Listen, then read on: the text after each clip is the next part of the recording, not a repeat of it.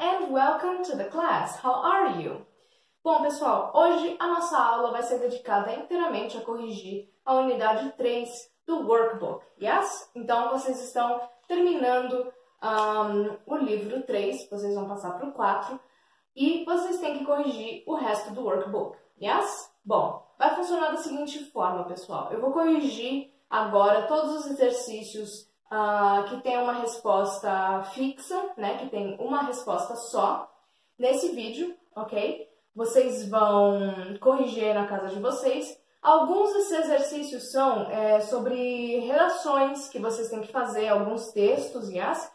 Um, e daí esses textos vocês podem me mandar ou vocês podem entregar lá na London e daí eu pego e corrijo e mando de volta para vocês, ok? Eu acho esse método mais fácil, porque a foto às vezes, é, geralmente ela não fica muito boa, então é, ela pode ficar escura, a letra não pode aparecer direito. Então, eu prefiro que vocês entreguem a redação lá na London e eu pego e corrijo daquela maneira normal mesmo, ok? Mas, se vocês não conseguirem fazer isso, vocês podem me mandar uma foto, ok? Nesses exercícios de redação, pessoal. Uh, os exercícios que têm uma resposta certa, uma resposta fixa, a gente vai corrigir agora, ok? Muito bem, pessoal, então nós vamos começar a unidade 3 do nosso workbook na página 136, yes? Bom, então na página 136 nós temos o exercício 1 e o exercício 2, yes? Bom, então o exercise number 1 is put the measurements in the correct order for the smallest from the smallest to the biggest. Yes? Então, nós temos aqui algumas medidas. Yes? Então, nós temos ounce, kilogram, ton, stone e pound e uma seta indo para cima, ok? Bom, gente, eu vou ler é, essas medidas da maior para menor, ok? Então, de cima, da maior para menor de baixo, ok? Então, vai funcionar assim. Eu vou ler daqui até aqui. Beleza, gente? Então, do maior até o menor. Beleza? Então, o maior deles é ton, ok? Então, number one, ton, depois stone, depois kilogram, depois pound e depois ounce, ok? De novo, então, ton, stone, kilogram, pound e ounce, alright? Muito bem. Esse era o exercise number one, bem fácil, né? Agora nós temos o exercise number two. Write a recipe for a cake using the words in the box. You may not need all the words. Então, pessoal, nós temos aqui um quadro, yes? uma caixa que nós temos alguns ingredientes para fazermos um bolo. Então, nós temos egg, flour, milk, baking powder, butter, oven, cook, carrot e chocolate. Basicamente, gente, vocês vão escrever uma receita. E as, então, uma receita de bolo, ok? Então, tem que ser uma receita de bolo. Aqui vocês vão colocar o nome do bolo. Aqui vocês vão colocar os ingredientes, a lista dos ingredientes. E na outra página, na 137, vocês vão escrever como fazer essa receita. Ok, gente? Uh, esse exercício, eu acho ele bem pessoal. Vocês podem escolher o bolo que vocês querem é, escrever sobre a receita. Uh, então, se vocês quiserem me mandar foto desse exercício para eu dar uma olhada, é, vocês podem me mandar, ok? Mas basicamente é isso. O exercício number two é você é, escrever uma receita de bolo, colocar os ingredientes, o nome do bolo e as instruções de como fazer essa receita, ok? Agora nós temos o exercise number 3. Make sentences about your family and friends using the frequency adverbs in the box. Então nós temos aqui uh, advérbios de frequência. Yes? Vocês lembram que os advérbios de frequência nós tínhamos generally, frequently, still, rarely, early, late. Yes? Então nós tínhamos esses generally, geralmente, frequently, frequentemente, still, ainda, rarely, raramente, early, cedo, late, tarde, ok? Então, nós tínhamos aqui uh, seis frases que nós tínhamos que escrever. Essa também eu acho pessoal, yes? Que vocês tinham que escrever sobre a família de vocês, os amigos de vocês, usando esses advérbios de frequência, ok? Então, um exemplo que eu posso dar aqui na number one. Um, então, my mother generally cooks. Yes? Então, my mother, uh, my mother frequently cooks. Ok? Seria melhor. Um, I generally make my bed. Por exemplo. Um, I rarely sleep late. Ok? Isso é uma grande mentira, mas para exemplo aqui, I rarely sleep late. Eu raramente durmo tarde. Yes? Uh, I always wake up early. Ok? Então, poderiam ser frases uh, desse tipo. Sobre a família de vocês, sobre os amigos de vocês, ok? Tem que usar esses advérbios de frequência que estão na caixa, ok? In the box. Então, esses advérbios de frequência vocês têm que usar nas seis frases, ok? Não todos na mesma frase, mas vocês vão escolher um para cada frase, ok, gente? Alright? Agora nós temos a página 138, que é o exercise number 4. O exercise number 4, answer the questions, yes? Então, esse answer the questions, pessoal, ele é bem é, voltado para o vocabulário da unidade 3, yes? Então, tem muitas perguntas referentes ao vocabulário que a gente aprendeu na unidade 3, yes? Então, por exemplo, aqui, What do you think is the most useful language to learn? Então, eu já perguntei várias vezes até para vocês na live esse tipo de pergunta. Uh, what do you think is the most useful language to learn? Vocês vão responder. I think, I don't know, English, uh, Chinese, Spanish is the most useful language to learn. Alright? Muito bem. Então, a number one, um, what do you think is the most useful language to learn? I think, tanana, a língua que vocês quiserem, is the most useful language to learn. And number two, did Derek watch the sunset last evening? A gente pode responder com sim ou não. A com sim vai ficar Yes, Derek watched the sunset last evening. Com não é No, Derek didn't watch the sunset last evening. Alright? Number three, do you think learning to swim is a useless activity? A gente também pode responder com sim ou não. Então, a gente pode responder No, I don't think that learning to swim is a useless activity. Ou Yes, I think that learning to swim is a useless activity. Beleza? Number four, did Livia play many sports on Friday? Também pode ser com sim ou não. Então, yes, Livia played many sports on Friday. Ou, no, Livia didn't play many sports on Friday. Number five, do hurricanes happen suddenly? Então, yes, hurricanes happen suddenly. Number six, what type of weather can happen suddenly in your city? Então, agora nessa está perguntando que tipo de tempo, que tipo de clima pode acontecer de repente na nossa cidade. Eu coloquei rainy weather, yes? Então, um clima chuvoso, de repente. Uh, que é o que mais acontece aqui, né, pessoal? Então, uh, rainy weather can happen suddenly in my city, okay?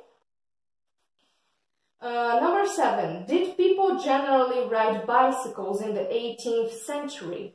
Então, essa aí é uma no. People didn't generally ride bicycles in the 18th century. Okay? Number eight. Are you generally late for your English lessons? Essa podia ser yes or no. Então, no, I'm not generally late for my English lessons. Com yes, yes, I am generally late for my English lessons. A number nine, aquela famigerada questão, tell me a surprisingly interesting fact about you. Então, me conte um fato surpreendentemente interessante sobre você. Yes? Essa resposta é bem pessoal, então vou deixar vocês responderem ela e vou deixar em branco. Number 10. What time does the sun set in your city? Eu coloquei The sun sets at 5 o'clock p.m. in my city. Yes? Então, 5 horas da tarde, o sol se põe aqui em campus. Yes? Então, the sun sets uh, generally at 5 o'clock in my city. 7 o'clock, 5 o'clock p.m. Okay? Uh, number 11. Who lives in hell? Essa aí era uma resposta só. The devil. The devil lives in hell. Number 12. Does David believe in heaven and hell? Pode ser sim, pode ser não. Então, no, David doesn't believe in heaven and hell. Or, yes, David believes in heaven and hell. Number 13. What is one of the most Christian countries in the world? Essa resposta, pessoal, ela era uma resposta só e tinha lá naquele conteúdo que nós vimos sobre heaven, hell, suburbs, angels, devils, demons, quer dizer, ok? Então, a resposta que nós tínhamos era Brasil. Brazil is one of the most Christian countries in the world. Okay? Number 14. What did the teacher show you last lesson? Okay, The teacher showed me a new vocabulary last lesson. Okay? Number 15. Is there a church in your suburb? Daí vocês podem responder yes or no. Tem uma igreja no subúrbio de vocês? Então, yes, there is a church in my suburb. Or, no, there isn't a church in my suburb. Alright? Muito bem, pessoal, esse foi o exercise number 4. Agora nós vamos para a página 139, ok? Então, no exercise number 5 da 139, nós temos Find the mistakes and correct it. Some sentences may be correct. Então, vocês têm que achar o erro, circular o erro e corrigi-lo. Algumas dessas frases estão certas. Então, a number one, the devil and demons live in hell. Yes? Então, o que está errado aí, claramente, é a palavra demons, que não tem um A, é demons apenas, com D-E-M-O-N-S. Demons, sem o A. Number two, atheists, atheists don't believe in God. Ok? Uh, essa estava certa, pessoal. É, o único erro que eu percebi aqui era que atheist está no singular, ok? Eu usaria o plural, atheists, ok? Então, a gente falar ateu não acredita em Deus. Ok. Seria mais correto falar ateus não acreditam em Deus, ok? Porque é um todo o ateísmo, né? Todos os ateus não acreditam em, em Deus, não é só um, são todos os ateus. Então, atheists don't believe in God. Number three, religion is part of most societies. Essa está correta. Yes, religion is a part of most societies. A number four, Christians believe in God.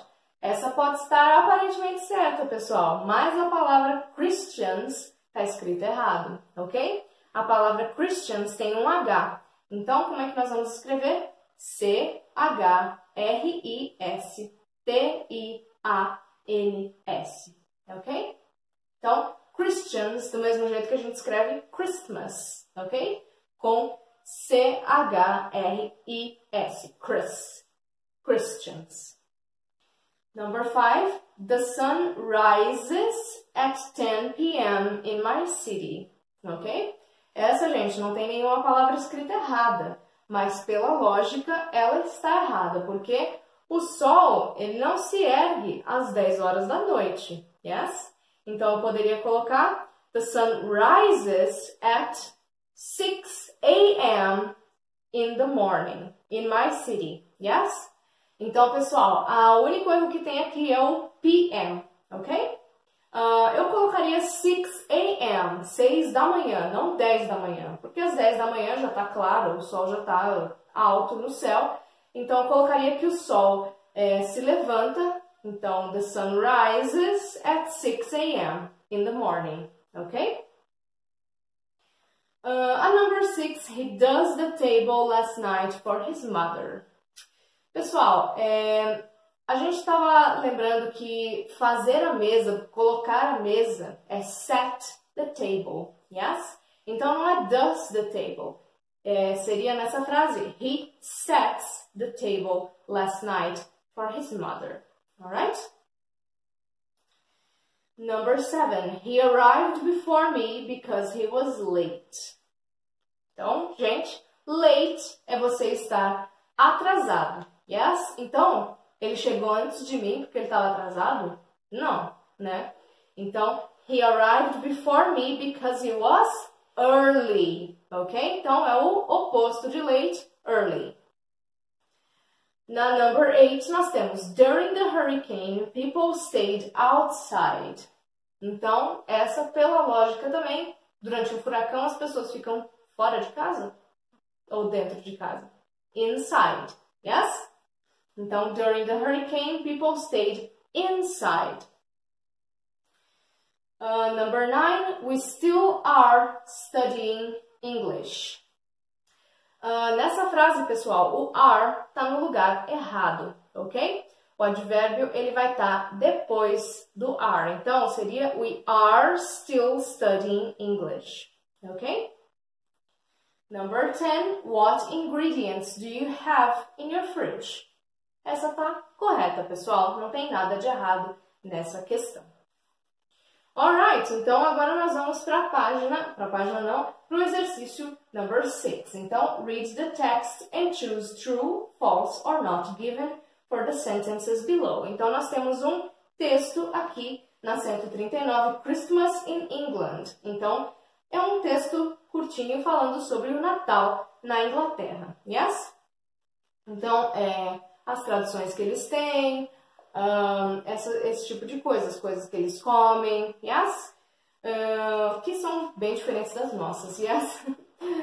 Alright, então na página 140 nós tínhamos 10 uh, afirmativas, 10 frases, nós tínhamos que ver se elas eram verdadeiras, falsas ou não estavam dadas no texto, not given, ok? Na number one, some shops start selling decorations in September. Essa afirmação, pessoal, ela é falsa, porque no texto fala que some shops start selling decorations in August, ok? Então não é em setembro, é em agosto já que eles começam a vender decoração de Natal. Number two, English people eat chicken and roasted vegetables for their lunch. Aparentemente está certa, yes? Mas no texto ele não fala chicken, ele fala turkey. Então não é galinha, é um peru, ok? Então essa afirmação também está false. Number three, Boxing Day is on 25th December.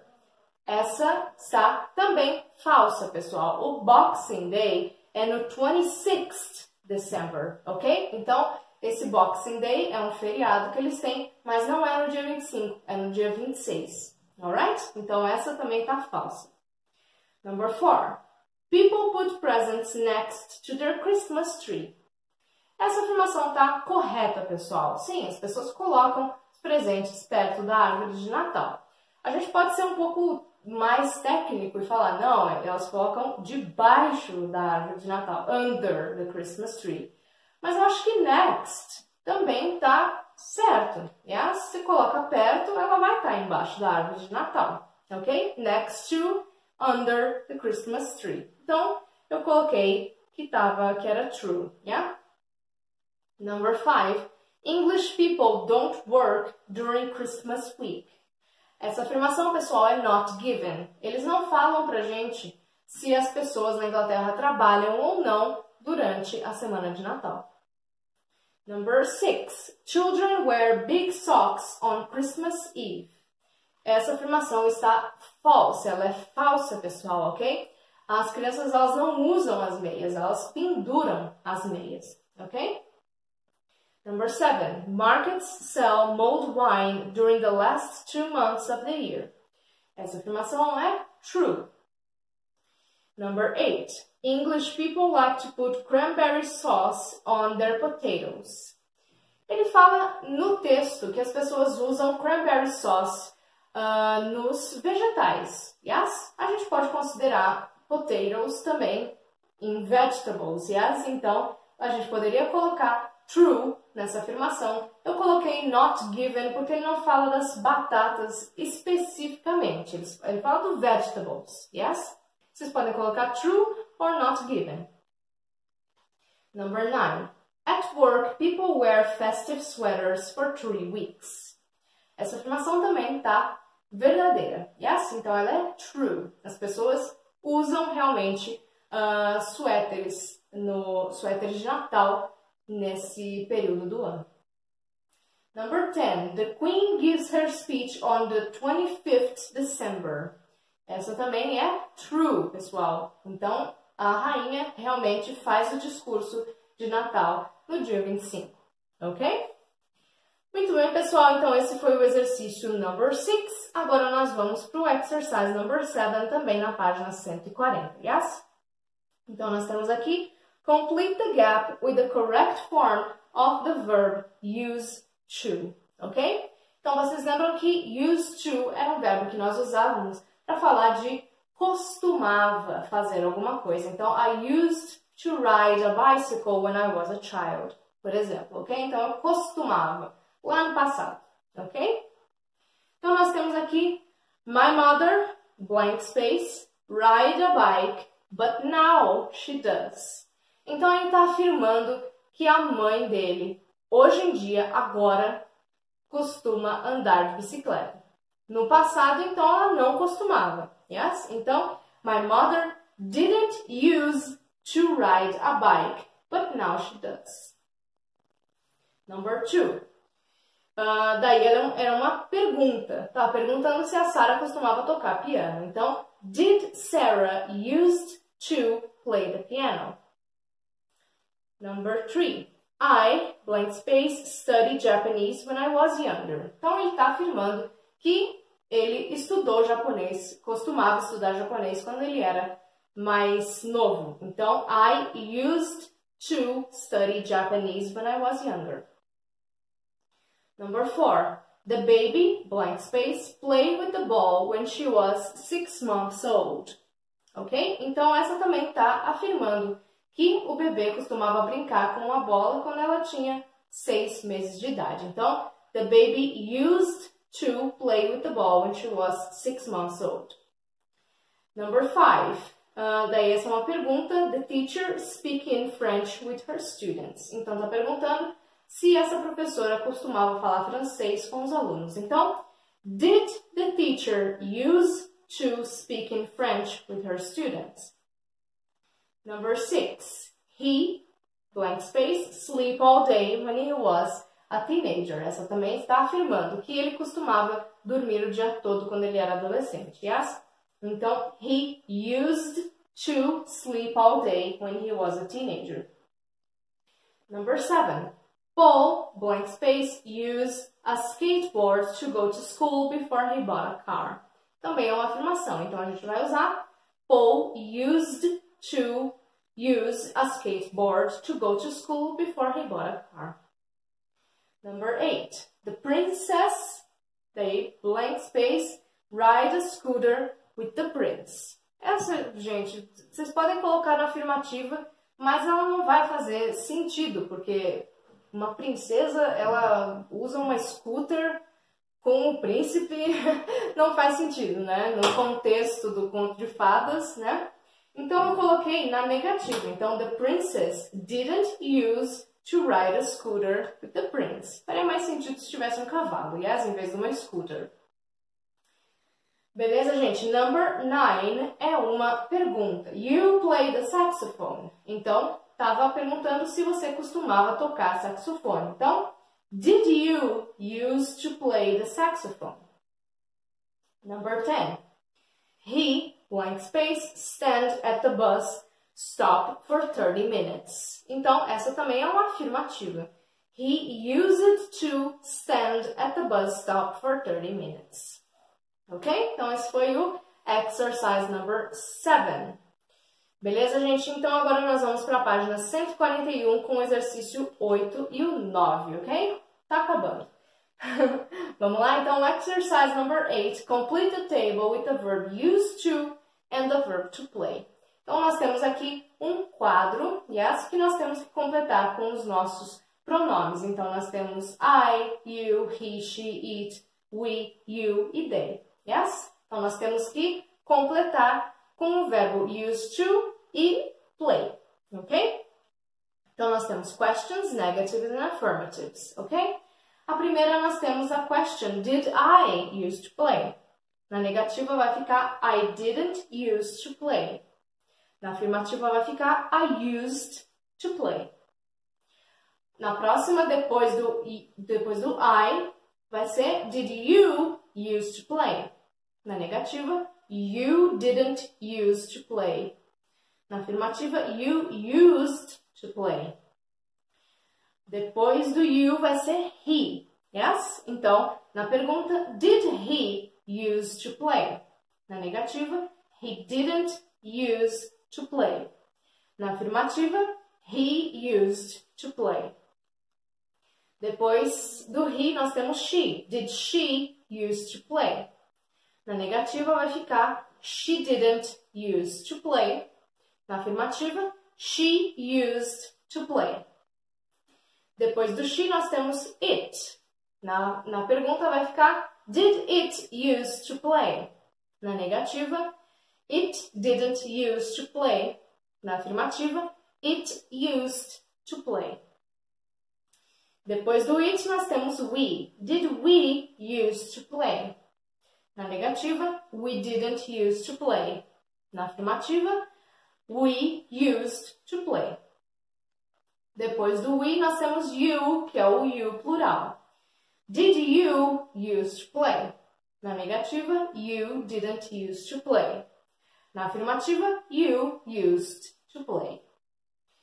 E por último, nós temos o they, yes? Então, did they use to play? Na negativa, they didn't use to play. Na afirmativa, they used to play. Alright? Então, esse é o exercise number 8. No exercise number 9, pessoal, nós temos mais uma redação que nós temos que escrever. Yes? Então nós temos aqui write a text about what you what you used to do in your daily routine when you were 10 years old. Alright? Então nós temos que escrever uh, uma pequena redação de como era a nossa rotina diária quando nós tínhamos 10 anos de idade. Então nós temos um exemplo aqui. For example, when I was 10 years old, I used to wake up at 7 a.m. I used to have bread and jam for breakfast, and I used to get the bus to school. My lessons used to start at, etc. Ok? Então, esse exercise number 9 é uma pequena redação que vocês vão escrever nesse espaço vazio, ok? E uh, vocês podem escrever numa folha separada se vocês forem entregá-la na London, ok? Uh, mas vocês têm que escrever sobre como era a rotina de vocês quando vocês tinham 10 anos de idade, ok? O que vocês costumavam fazer. Próxima página, página 142, nós temos o exercise number 10. Change the adjectives in the box into adverbs and rewrite the sentences with one of the adverbs. Então, nós temos que mudar os adjetivos que estão entre parênteses em advérbios alright? E colocar eles na frase. Então, a number one, the bird flew around the tree. Com o advérbio quickly vai ser the bird flew, the bird flew quickly around the tree. Number two, a, a girl ran to the train station. I think she was late. Uh, então vai ficar com fast. A girl ran fast to the train station. I think she was late. Uh, number three, write your answers in pen, not in pencil, the teacher said. Então, entre parênteses está careful. A frase vai ficar, write your answers in pen carefully, not in pencil, the teacher said. Number four, the man called to the boy, come here now. Então, entre parênteses tem loud. Vai ficar a frase The man loudly called to the boy, Come here now. Number five, she was tired, so she swam in the swimming pool. Entre parênteses está slow. Então, she was tired, so she slowly swam in the swimming pool. Number six, she made the chocolate cake. Então, entre parênteses está bad. A, a frase vai ficar She made the chocolate cake badly. Number seven, congratulations, you passed the exam. Entre parênteses tem easy. Então vai ficar congratulations, you easily passed the exam. Number eight, she used to speak English. Daí, entre parênteses, tem good. Vocês lembram que o good, na forma de advérbio, vai ficar well, ok? Então, vai ser She used to speak English well. Number nine, Thomas ran home with the good news. Entre parênteses, nós temos happy. Então, a frase vai ficar Thomas happily ran home with the good news. E por último, number 10, she studied to pass the exam. Entre parênteses tem hard. Hard.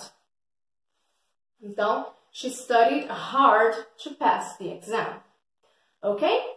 Então, pessoal, esse é o exercise number 10 da página 142. Nós vamos agora para a página 143. Nós temos o exercise number 11. É, fill in the gaps with the words that are in the box. Então, nós temos uma pequena historinha, yes, sobre um príncipe e uma princesa, então nós tínhamos que completar os espaços vazios com as palavras no, na caixa, yes? Então, a primeira aqui que nós temos é Once Upon a Time. There was a prince and a princess. They lived in a beautiful castle. The princess was afraid of an old man that lived in the forest near the castle. One day she walked to the forest to get some fruit, and she saw the old man and ran back to the castle as she was scared. She went to the prince and told him in a nervous tone of voice. He told her to be calm and that she was safe inside the castle. The princess climbed the stairs to her bedroom and looked out the window towards the forest. E daí vocês ficam com a imaginação de vocês, porque a história não acaba, ok? Muito bem, gente. Então, nós temos aqui as palavras que faltam. Yes, então, number one, once upon a time. A number two, prince. A number three, princess. Number four, was afraid. Number five, was scared. Number six, tone. Number seven, calm. E number eight, safe. Beleza? Ok. Pessoal, agora no exercise number 12, nós temos aqui look at the pictures and write small stories according to the questions for each, for each image, ok? Então, nós temos aqui nessa página, começando na página 143 e indo para as outras páginas aqui, nós temos várias situações, yes? Várias... Ah, aqui termina já nós temos é, várias situações, várias figuras de coisas que estão acontecendo, yes? Então, em algumas delas, nós temos algumas perguntas. Na primeira aqui, que nós temos essas mãos, tem a pergunta What are these people doing? What are their plans? What things and people are included in their plans? Na outra figura, nós temos uh, um homem lendo um jornal e ele está bravo. Na, então, as perguntas: What do you think the man is reading in the newspaper? Why is he so angry? What is he going to do with the paper?